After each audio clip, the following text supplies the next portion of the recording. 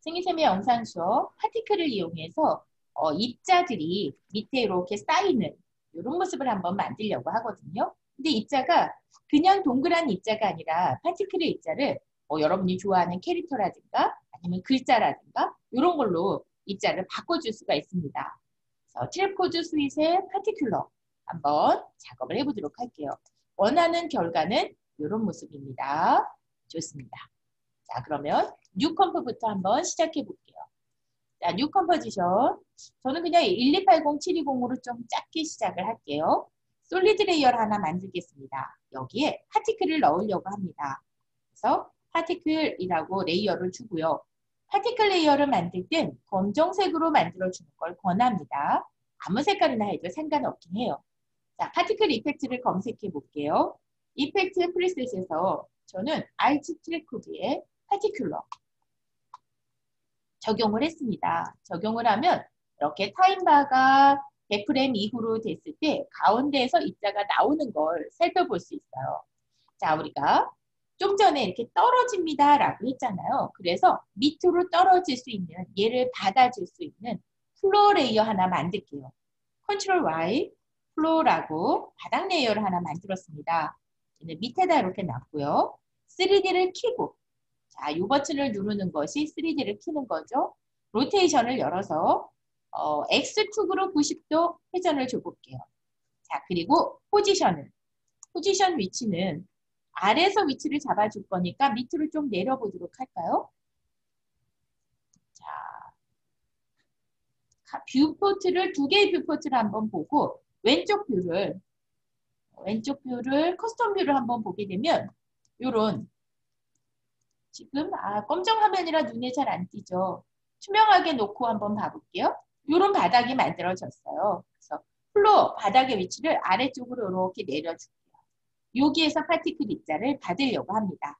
그래서 저는 6, 700이라고 값을 좀 넣어봤습니다. 자 이제 particle layer 여기에 효과를 한번 조절해 보도록 할게요. 한 개의 viewport를 좀 볼 거고요. 일단은 동그라미로 한번 particle layer를 한번 배치해 보려고 해요. 자, 일단 emitter부터 보겠습니다. particles sec, 이게 particle의 개수를 말합니다. 150개의 개수가 만들어지도록 할 거고요. 요게 중요해요. emitter type. emitter가 포인트. 여기 가운데에서 나오는 것이 아니라 펼쳐보겠습니다. 박스에서 나오겠다. 얘가 박스에서 나옵니다. 이때 박스의 사이즈가 중요해요. 이 박스의 사이즈는 바로 어디에서 해주냐면 여기서 해줍니다. 2m 사이즈. 우리는 아까 포인트 한 군데에서 기본적으로 particle이 나왔었거든요. 근데 상자 안에서 이 상자 안에서 particle 입자가 나온다는 소리예요. 근데 그 상자가 500에 500에 500 형태의 픽셀 크기란 얘기입니다. 얘를 XYZ linked가 아니라 XYZ individual 독립적으로 해보도록 할게요. 제가 composition을 1280으로 했습니다. 그래서 X 사이즈를 1280. 자, Y 사이즈를 Y 사이즈는 뭐 한 300 정도만 줘도 될 것 같아요. 높이 부분. 피둥이가 1280, 300 정도가 이렇게가 준비가 되고 있죠. Z 값은 이렇게 뎁스입니다. 이렇게 깊이 부분. 얘는 한 50만 주도록 할게요. 자, 요거를 파티클 입자가 위에서 아래로 떨어지길 원해요. 포지션을 바꿔보도록 할게요. 자, 포지션은 파티클 마스터, 2m 마스터의 여기가 포지션입니다. 자, 포지션의 위치를 이렇게 해서 위로 올려서 파티클 입자가 안 보이는 곳에서부터 떨어지도록 할게요. 값을 한번 줘볼까요? 마이너스 500이라고 줬습니다. 이렇게 되어 있는 상태고요. 자, 플레이를 해보면 현재 박스가 저 위로 올라가져 버렸기 때문에 파티클 입자는 안 보입니다. 요거를 우리는 중력 값을 이용해서 아래로 떨어지게 할 거예요. 자, 그게 바로 어디냐면 피직스, 물리적인 값을 넣어주려고 합니다. 피직스. 어, 여기 physics가 air는 그냥 공기 중에서 이렇게 뻗어지는 모습을 나타내는데요. 우리는 아래로 떨어지는 거잖아요. 그래서 physics를 bounce를 주겠습니다. 그러면서 gravity, 이게 바로 중력이에요. 마이너스를 주게 되면 하늘로 날아가고요. 플러스 값을 주면 아래로 떨어집니다. 저는 한 600 정도를 줘볼게요. 자, 이제 플레이를 한번 해볼까요? 했더니 입자가 아래로 떨어지네요. 좋습니다. 자, 그러면 입자의 생명과 크기를 한번 조절해 보겠습니다. particle master를 펼쳤을 때 여기가 particle master. 자, 생명은 약간 지금보다는 조금 더 살았으면 좋겠어요. 자, life를 20이라고 줄게요. 왜냐면 밑에 많이 오랫동안 살아있도록 하기 위해서입니다. 그리고 어, 일단은 사이즈를 한 20 줘볼게요. 자, 일단 이런 입자가 나타나지네요. 그런 다음에 여기 아까 물리적인 bounce 했던 여기 physics입니다. bounce를 한번 펼쳐보죠. bounce를 펼쳤을 때 무엇을 해주냐면요. floor layer. 얘가 바로 floor라고 아까 만든 것이다. 라고 해줬어요. 플레이를 한번 해볼까요? 했더니 얘가 위에서부터 박스에서 입자가 나오면서 바닥에 탕탕탕탕탕탕 튕기면서 생명이 20초다 보니까 밑에 쌓여지는 이런 모습이 완성이 되네요. 어유 좋습니다. 그런데 최종 완성하고자 하는 결과는 캐릭터가 내려오면서 쌓이기를 원하는 거거든요. 그렇다면 캐릭터가 하나 필요하겠습니다. 자, 그래서 캐릭터를 가져보도록 할게요. 자, 저는 어, 앵그리버드 작업을 하기 위한 어, 미리 제가 앵그리버드 이미지를 하나 준비해 놨던 게 있는데요. 걔를 한번 가져볼게요. 자, 이 녀석입니다. 아, 제가 가져올 때 PNG 시퀀스를 했더니 1번, 2번이 같이 왔네요. 다시 한번 가져올게요. 자, 소스를 가져오고자 할 때 선택하고요. 얘가 꺼져야 돼요. PNG 시퀀스가 꺼져야지만 한 개씩 들어온다는 얘기예요. 제가 1번 화일이 있고 똑같은 화일 네임의 뒤에 넘버만 바뀐 2번이 있었기 때문에 시퀀스로 들어와졌던 거예요. 자, 요거 하나를 아, 얘를 가져올까요? 얘를 임포트를 했습니다. 자, 가져온 걸 가지고서 이렇게 화면에 일단 배치해 볼게요. 그랬더니 이런 제 위에다 일단 배치해 보겠습니다. 옷, 옷, 어떻게 됐어요? 이게 하얀 데가 있잖아요. 그러면 이 하얀 곳까지 사용하게 되니까 적합하지가 않겠죠. 어, pen tool로 마스크를 씌워야 됩니다.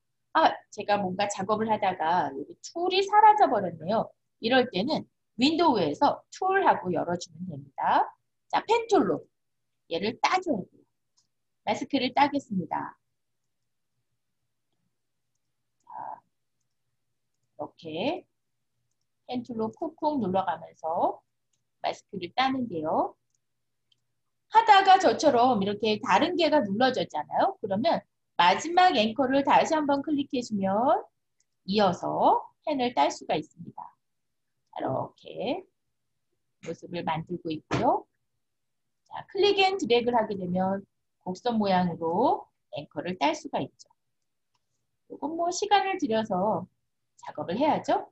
어, 선생님 얘가 처음부터 끝까지 예쁘게가 잘 안 되는데요. 그러면 일단은 작업을 하고 그런 다음에 또 수정할 수 있습니다. 저도 뭐 지금 엉터, 엉터리로 됐네요. 자, 수정을 좀 해볼게요. 자, M 눌러주게 되면 mask path인데요. 경계 색깔이 명확하지 않아서 이렇게 캐릭터와 조금 다른 파란색을 선택했고요. 선택 tool로 이 anchor를 선택해서 이렇게 모양을 수정합니다.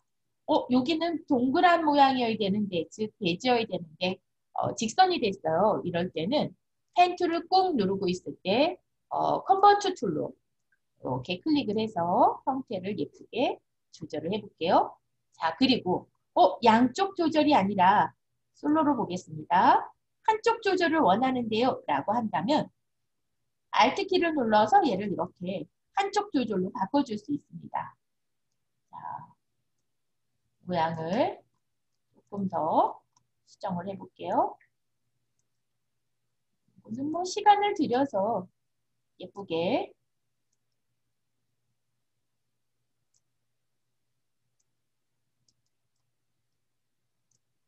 드래그를 하다가 Alt를 눌러주십시오.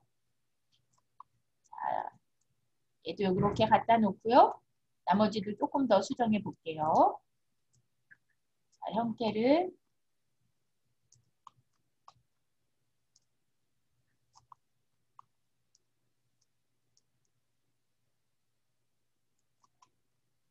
드래그를 하다가 Alt를 눌러서 경계를 잡습니다.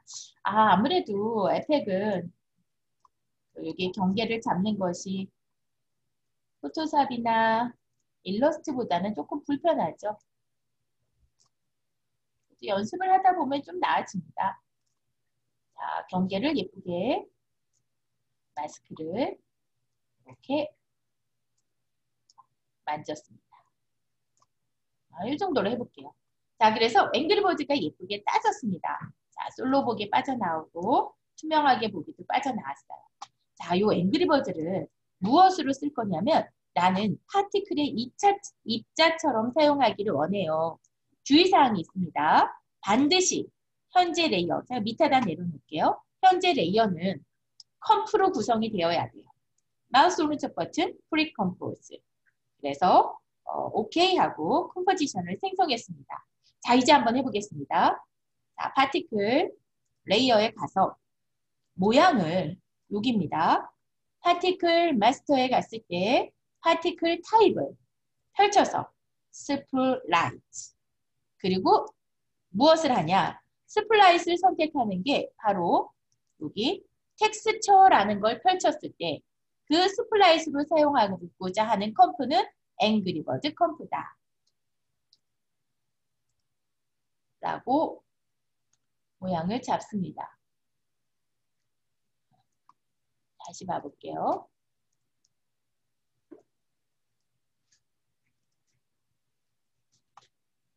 자, 플레이를, 아, 한번 볼까요? 플레이를 해보면, 이렇게, 아, 이 마스크가 제대로 안 따졌네요. 자, 다시, U, M, 아, 이유가 있어요. 자, 취소를 해서 뒤로 되돌아가서 다시 한번 해볼게요. Control Z, comp 구성되기 전 상태. pre-compose를 만들 때 마우스 오른쪽 버튼 pre-compose 얘를 move 시켰어야 돼요. 마스크의 성질을. 자, 오케이. 만들었고요. 자, 그 다음 다시 한번 해보도록 할게요. 자, particle layer의 particle 모양은 sprite 얘를 나눠주는 모습을 할 건데 텍스처에서 여기 앵그리버드 comp를 사용하겠다. 오케이 해주겠습니다. 자, 오케이 해주도록 할게요.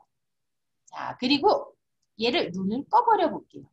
자, 플레이를 했더니 앵그리버드 입자가 떨어지고 있습니다. 자, 여기에서 나머지 옵션 조금 더 조절해 볼까요? 사이즈가 좀 엄청 작네요. 그래서 사이즈를 좀 올려봅시다. 사이즈를 여기입니다. Physical Master에 아니죠? 여기죠? 어, Particle Master의 사이즈가 20으로 돼 있는 걸 한 200 줘볼까요? 오, 너무 크네요, 이번에. 음, 50? 조금 더 커도 될 것 같아요. 100? 했더니 앵그리버드가 이렇게 만들어졌고요. 밑으로 바닥으로 떨어지고 있어요. 그러면서 탕탕탕탕 튕겨지네요. 바운스에 대한 거를 조금 수정해 보겠습니다. 자, 일단 Physical에 갔을 때 bounce를 펼쳐보죠. bounce. bounce는 얼마나 많이 튕길 것인지 bounce의 양을 한 15 정도로 조금 줄일게요. 자, bounce random도 15%로 좀 줄이겠습니다. 자, 플레이를 해볼까요? 했더니 아까보다 bounce가 조금 덜 되고 얘가 이렇게 아래서 탕탕 튕기면서 생명이 20초다 보니까 아래 옹기종기 막 쌓여있는 이런 모습이 되고 있죠. 좋네요. 자, 그 다음에 어 그런데 이렇게 그냥 떨어지는 모습이 뭔가 좀 수직으로만 떨어지니까 좀 아쉬운 것 같아요. 그래서 얘를 로테이션이 좀 될 수 있도록 형태를 조금 조절해 보도록 하겠습니다. 자, World Transform을 가게 되면 World는요 전체를 만지는 거기 때문에 예를 들면 X 로테이션을 이렇게 좀 값을 주잖아요. 제가 X 로테이션을 한 50이라고 값을 줬어요. 그랬더니 전체적으로 이렇게 회전된 모습으로 뜹니다. 객체가 한 개 한개 모습이 회전되기를 원하거든요. 그래서 다시 위쪽에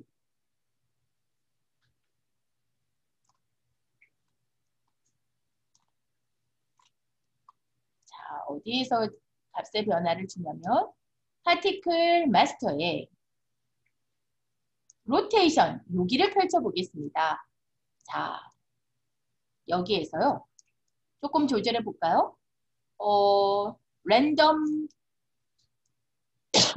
Random Speed Rotation이라고 하는 부분을 한 50 정도는 한번 random을 줘보도록 할게요. 그랬더니 객체들이 각자 살짝 이렇게 회전된 걸 볼 수 있어요. 마음에 드네요. 다시 한번 보겠습니다. 자, 위에서부터 캐릭터들이 빙글빙글 돌면서 아래 쌓이는 이런 모습이 완성이 됐어요. 잘 됐습니다. 좋습니다. 자, 이번엔 캐릭터 요거를 크크크크 글자로 한번 바꿔보도록 할게요. 자, 현재 컴프를 컨트롤 D 복사해서 복사한 comp에다 한번 적용을 해볼게요. 어, 저는 글자를 여기다 쓰겠습니다. 크크크. 크크라고만 쓰죠. 에코. 크크. 자, 이렇게 쓴 이 글자를 자, 글자는 반드시 아까 뭐가 되어야 된다라고 했죠? 조금 큰 것 같아서 괜찮은 것 같고요. 얘를 마우스 오른쪽 버튼 pre-compose. 오케이. 자, 그 다음에요. particle layer에서 입자를 크크로 바꿀 겁니다. 자, 여기입니다. particle type은 sprite 그리고 layer는 이거를 바꾸는 거예요. 자, 펼쳐서 크크. 자, 요거는 지금 현재 sprite texture 얘네들이 아, 좀 종이가 large 너무 크다라는 얘기네요. 괜찮아요. 500픽셀 미만으로 해주세요. 라는 얘기였고요. 오케이 해주면 적용됩니다. 자, 눈 껐어요. 자, 플레이를 해보면 크크 글자가 하늘에서부터 뭐야 뭐야 뭐야 뭐야 크크가 막 떨어지면서 막 쌓이죠. 근데 글자가 좀 컸으면 좋겠어요. 바로 여기 또 사이즈죠. 여기죠. 사이즈. 100을 200으로 얘는 좀 올려볼까요? 그럼 글자가 이렇게 커다란 글자가 뒤에 영상이 있으면 영상에 크크 글자가 막 쌓이겠죠. 어, 근데 쌤 너무 로테이션이 심한데요. 로테이션 조금 조절합시다. 한 20? 20 너무 많나요? 10? 플레이를 해볼게요. 그러면 크크 글자가 이렇게 회전하면서 이렇게 쌓이겠죠. 수직으로만 떨어지고 싶습니다. 그러면 Random Speed Rotation을 0을 주게 되면 정확한 크크가 위에서부터 뚝뚝뚝뚝 떨어지는 거죠. 크크에 비가 내리고 있습니다. 근데 뭐 그냥 0도는 재미없네요. 3도? 오, 3도도 꽤 드네요. 스피드. 얘를 외려? 30 플레이. 너무 많이 하네요. 1조. 요 1조네요. 1.